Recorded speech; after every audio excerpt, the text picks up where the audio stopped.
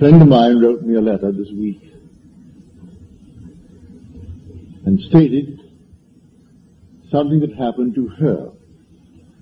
Having read it and reread it, I thought it would be quite a lesson for tonight. She said that having tried to change others and failed, she thought the whole thing over and thought, well, after all, I'll change myself, for the other is only myself pushed out. The whole vast world is myself personified. So she began to work on freedom, that I am free. And she and a friend of hers, who is here tonight too, discussed freedom. Then she said a vision developed soon after that which was very disturbing. It came unexpectedly. And here I found myself flat on the ground, stretched out like a cross, face up, and all in chain. And here is my body, my physical body, chained to the ground. It would come without warning.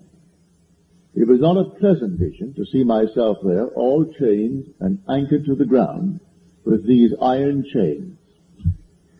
And one day when it happened, I thought I would look closer, take a closer look, to find that it was not only chained, but there were locks. The whole thing was completely anchored and locked to the ground. Then I felt myself rise out of this body while it began to sink into the ground. And I rose up and up out of the body. I realized then that the body was part of the earth. It belongs to the earth. Of the dust it came, and to dust it returns. And I rose up out of it. And from that day on, I have never had that vision again. I feel myself free. Now, she said, I had this on the morning of the 14th of February, this month. She said, I returned to this world from a profound dream. I knew that it was profound, but I could not move to write it. Here I am, cataleptic. I couldn't move to write it. I tried to struggle with myself to remember it in detail. And the aim began to fade. So I asked myself to reveal to me a vision, some vision that will hold it. And then I saw a serpent emerging out of its skin. And there was its dead skin, and here was a serpent completely out of the skin that it had just shed. Then I saw two serpents, a pure white serpent and a black serpent.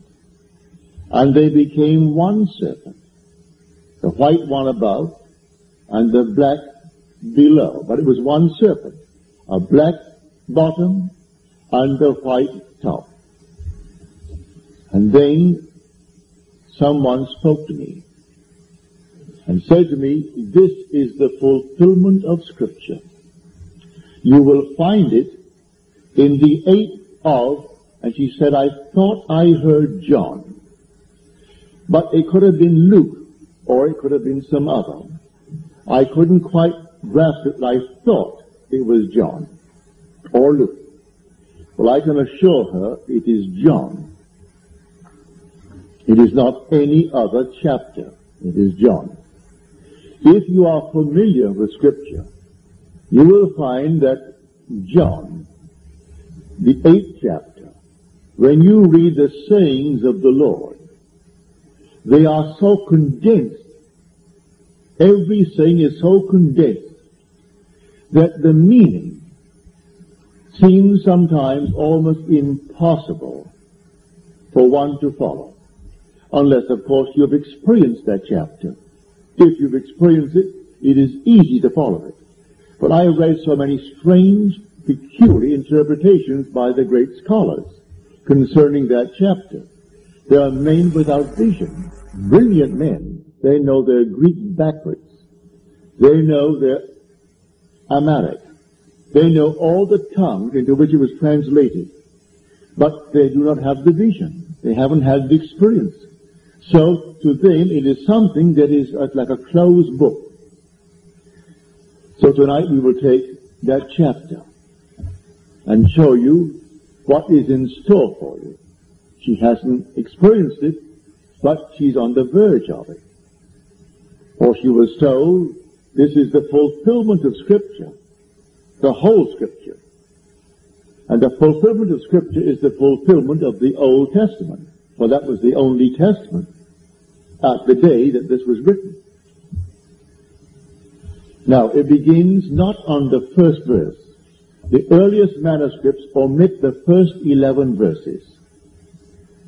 Somewhere along the way, some scribe inserted into that chapter 11 verses that you cannot find in the early manuscripts. The last verse of the seventh chapter is omitted, and the first 11 verses are omitted in the Revised Standard Version. They will quote it in a little tiny print and give you the reasons why, that you cannot find it in the really early manuscripts of the text. But some overly zealous scribe put it into it. If you're not familiar with it, it's the story of the one taken in adultery. That's omitted. That was definitely added. So it begins on this note. I am the light of the world. He who follows me shall walk in light. Here is one of the great I am sayings of this gospel. For the gospel of John is full of I am. I am the bread of life. I am the living bread. I am the resurrection. I am the life. I am the way. I am the truth. I am the door. I am the true vine. So these mighty I am sayings are all through the Gospel of John. It's the most profound book in Scripture. So here it begins, I am the light of the world. In that statement, he is telling us that he is the consciousness of humanity. For we are told in the Gospel of John, in him was life, and the life was the light of men. Were he not in you as your own wonderful I am, you would not be animated. You would not be conscious. And I know from my own experience that there is in man that life, and one day he will be in control of it. And he will actually know from experience that the whole vast world is himself pushed out. He will arrest that activity within him, and everything that he observes will stand still, proving that he is the light, the consciousness of men. They have no consciousness. Before your own eyes, they, appear as dead people, completely dead, made as though they were made of wax. You release the activity within you that you only a moment before froze and everything becomes once more reanimated. So you know where the source of all things are. It's all in you. Your own wonderful I am. This, that's God. There is no other God. So you can change the outer world as you change the inner world. You can freeze it and then stop it. You can freeze it, change the internal you, and then watch it and see the whole vast world execute the change in you. So I am, says he, the light of the world. That's your destiny. I know back in 1926 or 27, in, in Larchmont, New York, I went to sleep hearing this wonderful orchestra playing below, but I was not allowed to join the crowd. They were all guests and members of the club, and I was only a guest of the manager. So I went to sleep on the early side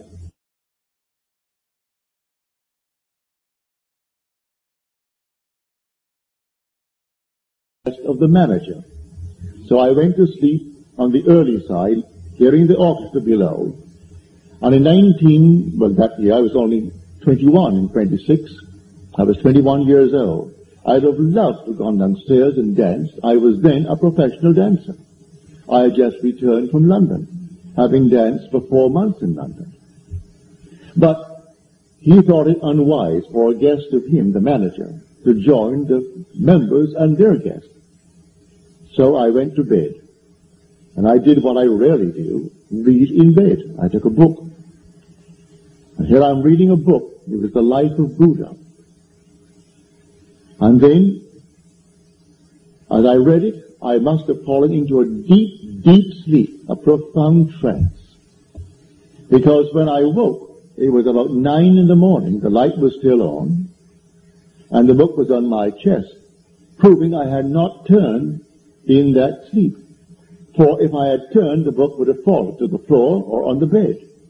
So in that interval, whether it lasted eight hours or more, I do not know. But I went into a deep, profound trance. And in that trance, I became the light of the world. I could easily have said, I am the light of the world. There was not a thing in the world but myself, and I was light.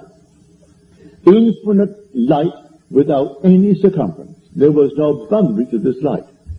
No sun, no stars, no moon, only infinite light. And I was it, a living, pulsing light, the light of the world. Then I woke, and here I am once more, congested into this tiny little garment that I knew as Neville. A little garment that she saw in her vision anchored to the earth in chains, iron chains, and locks, and it would sink into the earth from which it was taken, while she, who was in it, would rise above it. For she is the seed of God as you are.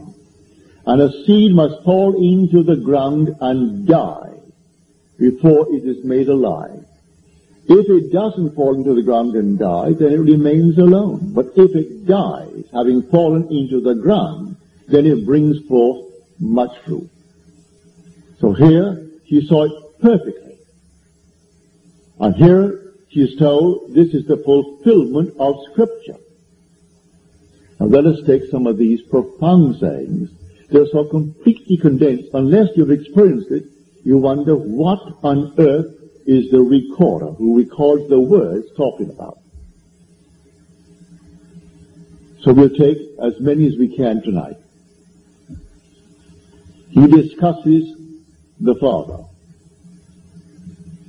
They do not know he's talking about the Father. They said, Who is your Father?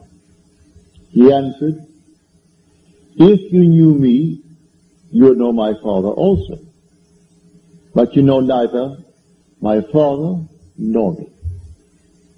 If you really knew me in the full sense of that word, you would know God for he and I are inseparable. If you knew me, you would know God. That's what he's saying in this eighth chapter. Then he tells them, you will die in your sins unless you believe that I am he. Here it is stated the fundamental sin of the world is lack of faith in I am He. So we are told in the Psalms, the 46th Psalm, be still and know that I am God. Man finds it difficult to believe that.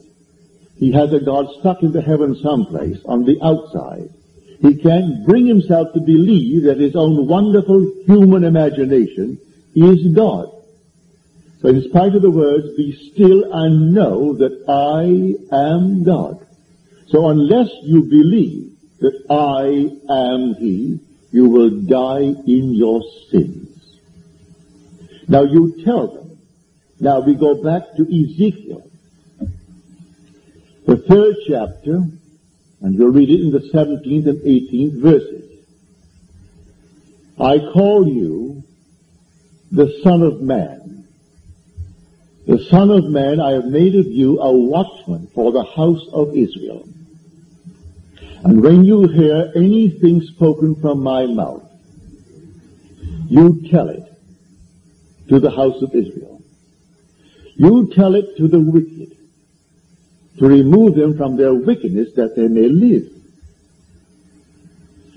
If you do not tell it, they will die in their iniquity, which is in their sin, but their blood will be upon your hand. If you tell it, and they persist in their iniquity, they will die in their iniquity, but the blood will not be upon your hand. So Paul could say in the 20th chapter of the book of Acts, he is now addressing the Ephesians, and these are the elders. He say to them, I am innocent of any blood that is of yours. Innocent completely of all the blood that is yours. For I did not shirk from declaring the counsel of God. He told it just as his vision happened to him. As he said before the king, he said, O King Agrippa, I am not disobedient to the heavenly vision. He kept the divine vision in time of trouble, even though it meant jail, even though it meant persecution, meant beating.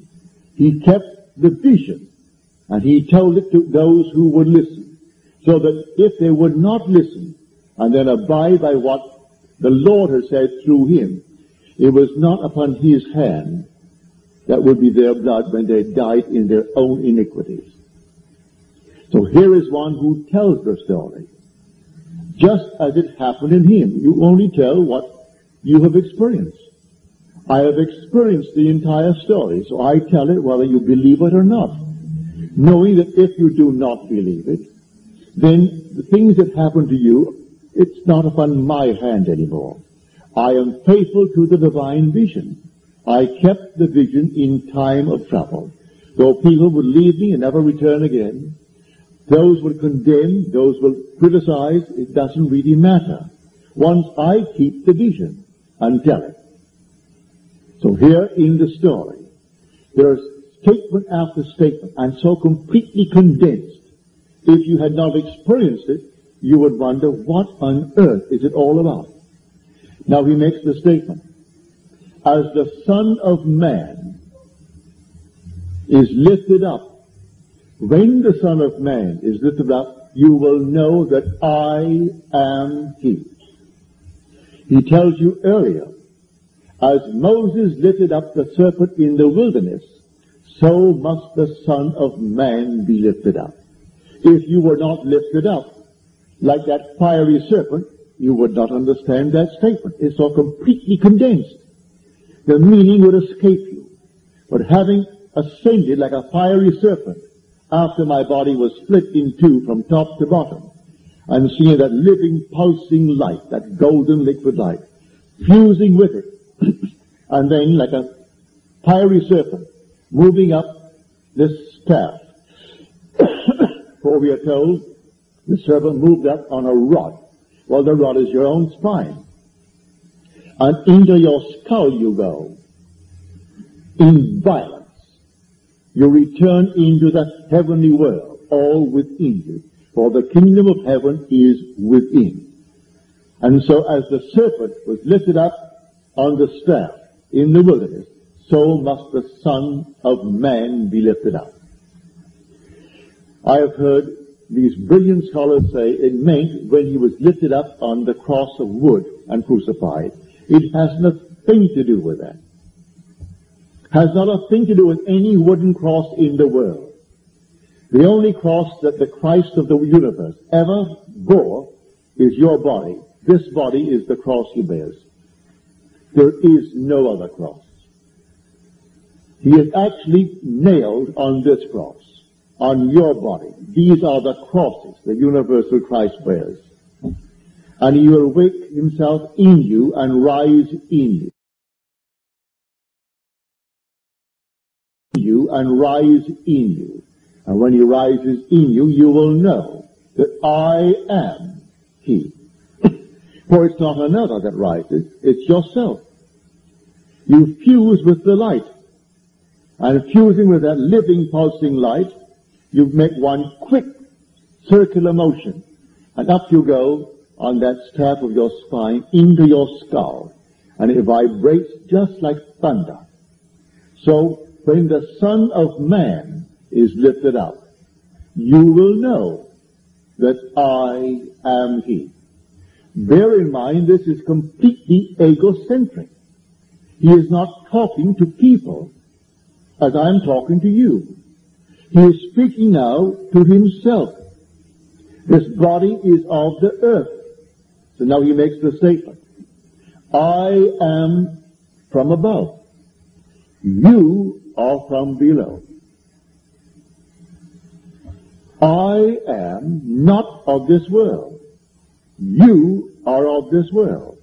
So who is the you? It's the body that you wear. That is anchored by these chains that you saw and the very locks that you saw to this earth. And to earth it will return and must return. But you, occupying these garments, you are not of this world. You are not of this earth. You are from above. But not yet aware of it. Not yet awakened within that garment. Not yet born from above. But you will. Now he makes the statement. And now he's discussing freedom. Now she, in her letter, started off by telling me about how she wanted to be free. I will not mention the characters in her life that she felt holding her back, how she tried to change them without any help. She didn't see the change that she thought she would see, and she worked on herself to be free. Then came the vision of the anchored body to the earth and herself rising above it and then the whole vision faded from then on when she felt free. Now he's discussing freedom. That if you abide in my word, and my word abides in you, you will know the truth, and the truth will make you free. Well, they answered, well, we are the children of Abraham, and we have never been in bondage to anyone. And you say that we must be made free? They did not realize that they were enslaved. Any more than the whole vast world knows it is enslaved. You are enslaved to the body that you wear. No matter how much money you have in this world, what power you have in this world, you cannot order anyone in this world to perform the natural functions of your body for you. You do it yourself. No matter where you are in the world, you could be sitting on a throne, and you cannot order anyone in your world to perform the normal natural functions of your body for you. You've got to go to your own bathroom and perform them yourself. You have to eat your own food and assimilate it, and what you cannot assimilate, you must expel it yourself. And no slave in the world can do it for you. So are you not a slave of the cross that you wear? So here is the world in which we live. They thought they were free. And he tells them you will only be free if the Son sets you free. If the Son sets you free, you are free indeed. All these are taken from the eighth chapter of John. Now, he's only fulfilling Scripture. And Scripture spoken of is the Old Testament. We go back to the 17th chapter of 1 Samuel. And the king has made a promise that the one who brings down the enemy of Israel, I will set his father's house free in Israel. Well, the one who brought down the giant was David. David brought down the giant and severed his head from his body. And when he stood before the king, the king is not inquiring about David. It's obvious that he brought down the giant. He has the head in his hand. But whose son are you? He has to fulfill his promise and set his Father free. The Father is bound in you, and not until the Son appears are you set free. When the Son appears, he will call you Father, and you will know he is your Son, and he will know that you are his Father, and that Son is Christ, and Christ is David. Now, I am telling you what the world will throw stones at me, who call themselves Christians, or even call themselves Jews. They will think that's blasphemous. Yet, I'm telling you what Paul said. I am not unfaithful or disobedient to the heavenly vision. It happened to me, and I cannot modify it to satisfy the preconceived misconceptions of Scripture and tell them of some other being. It was no other being, it was David who set me free. You're only free when you discover that you are God, for there's nothing in this world that is not, that is free unless it is God. God is the only one that could be free. So I tell you that you are God. His name forever and forever is I am. That's God. But you do not know when you say I am. You say, I am Neville. You say, I am Jim. I'm Bill. I'm Peter. I'm Stan. I'm Jan. That's not setting you free. When you know I am God, you're set free. And you will never know you are God unless His Son stands before you and you know He is your Son and that Son is David. Then you are set free. Free forever. The body will return to the dust from whence it was taken. But you who are buried in that earth, you died, and then you were made alive, and then you became free. And you are free as God the Father. So in the end, the Son set man free by revealing to man that he is God. As long as he thought himself Mrs. Brown's son or Mrs. Jones's son, and he was back on a physical background, he is not free because nothing physical can be freed.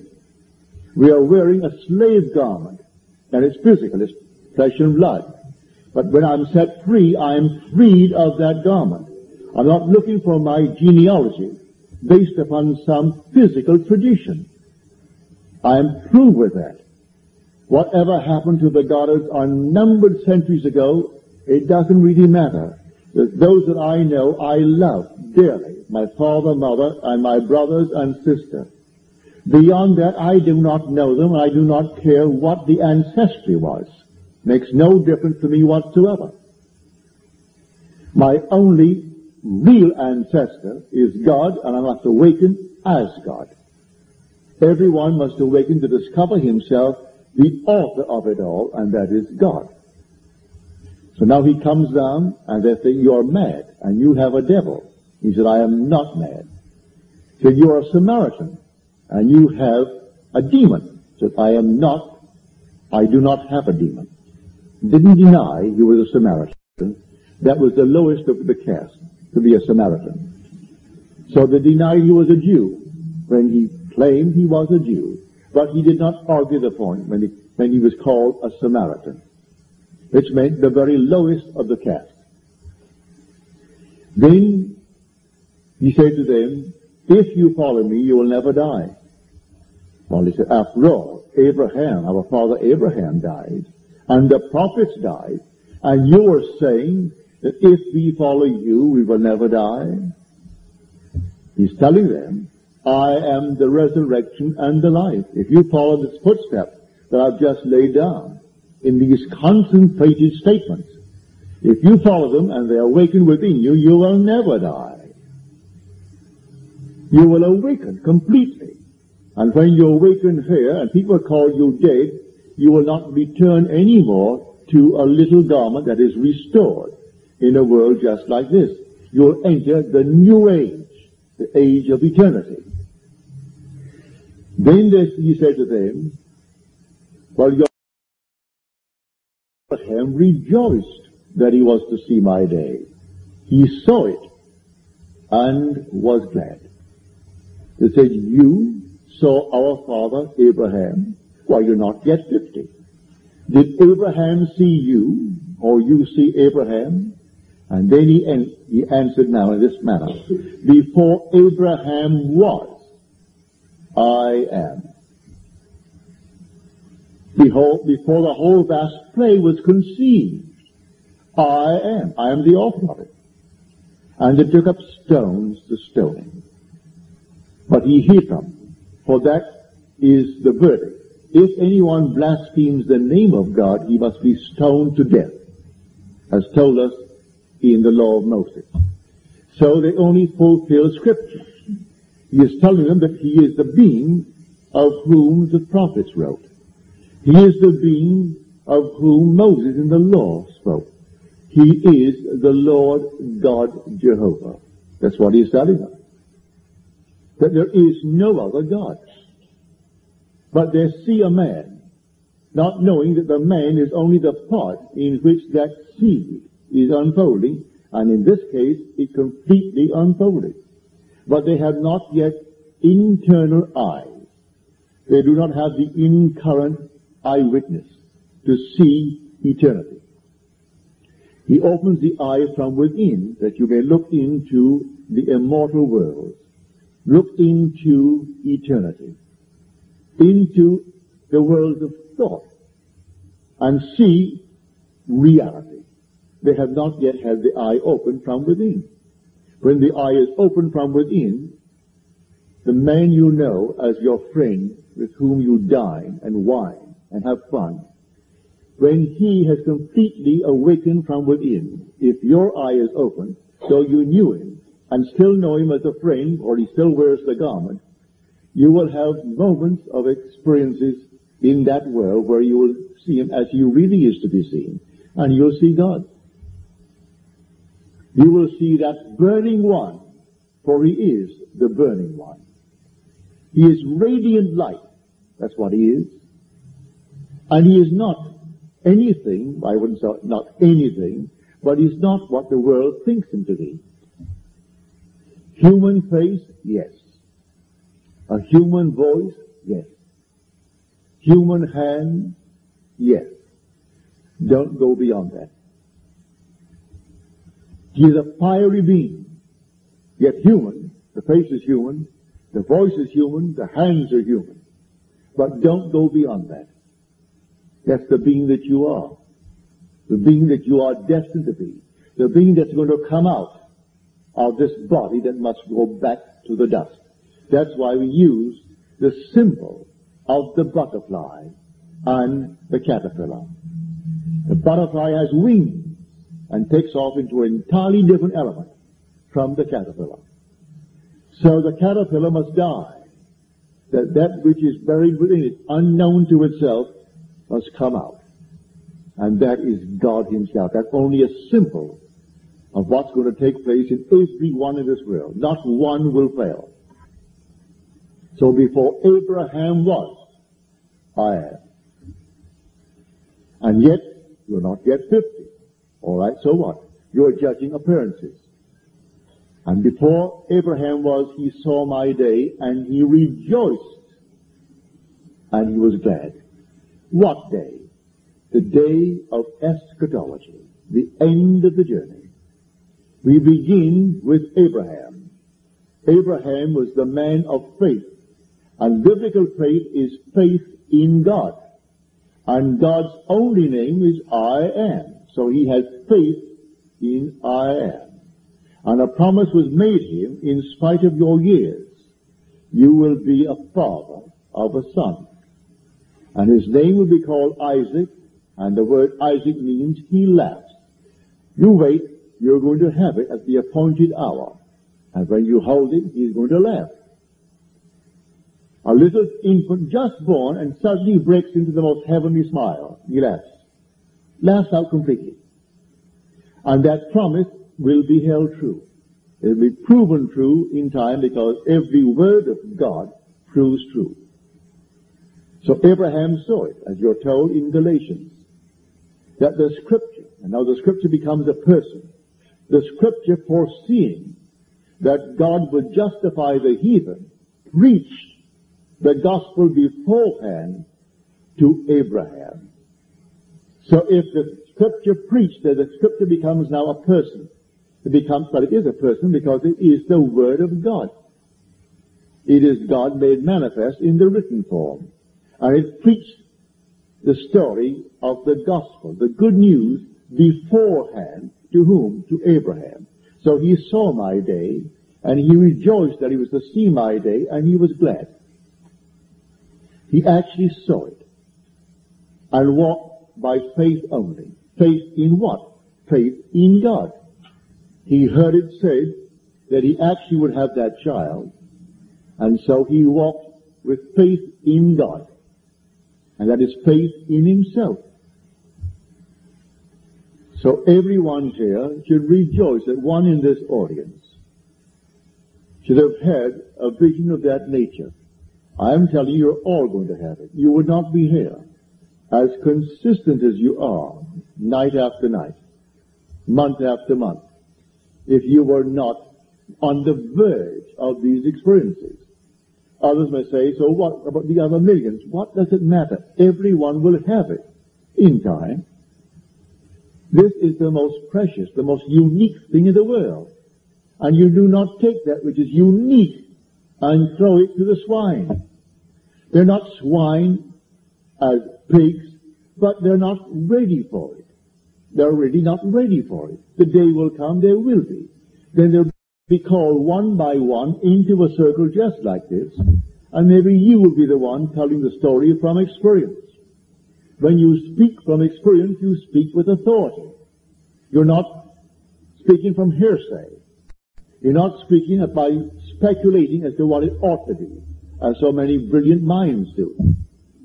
If I could show you, even in what is called the grandfather of all biblical interpretations, and here, these scholars, in when the Son of Man is lifted up, and they all say it means when he was lifted up on the cross. What about the other two on the cross? They ignore that completely. This is the cross. There never was another cross. When a little child is born, at that moment of birth, he is crucified. That is the Lord who became man. Why? That man may become God. And so that was the actual seed of God. That which is imperishable. But it has to fall into this ground, this cross, and die before it is made alive. And when it's made alive, it bears much fruit. Now you can take what you heard tonight, profound as it is in the spiritual sense, and apply it to the most practical thing in this world. Right here, because you're only dealing with one cause. If you're going to turn to another cause, you have two gods. There is only one God. Hear, O Israel, the Lord, our God, the Lord is one. The minute you have a second God, you have a devil. You're going to blame something outside of yourself for the things that happen in your world. And the minute you blame another, you give him the power to create confusion in your world.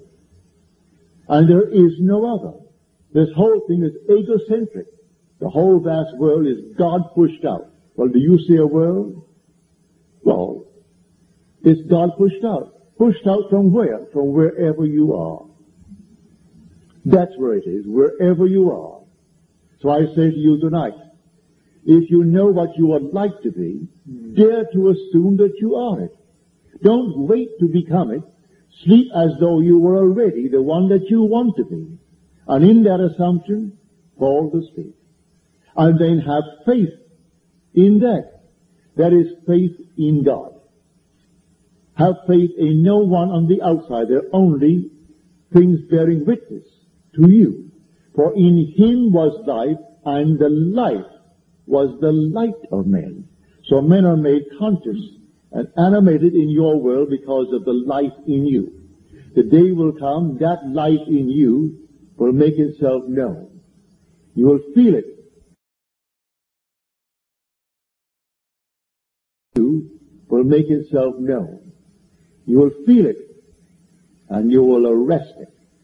And all those who seem so alive and independent of your perception of them will stand still.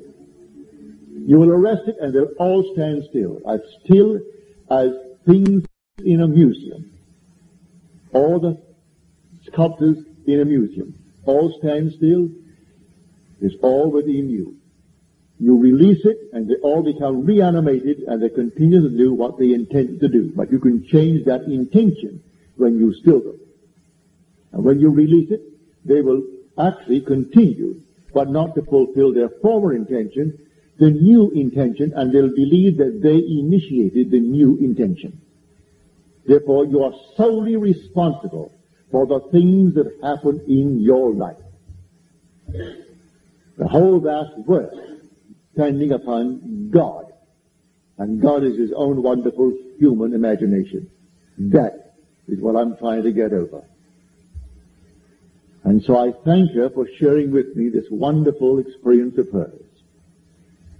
And to go back in time to the point where she tried to change a very dear, dear one in her life and felt she had failed and then turned to self to change. And changing self came a vision which frightened her. It disturbed her. But here she is flat on her back on the ground and stretched out like a cross and then chained to the ground. And then it would come without warning. And it never once came but what it disturbed her. And then one day she thought I would take a closer look to find it was not only chained to the ground, but locks were on it.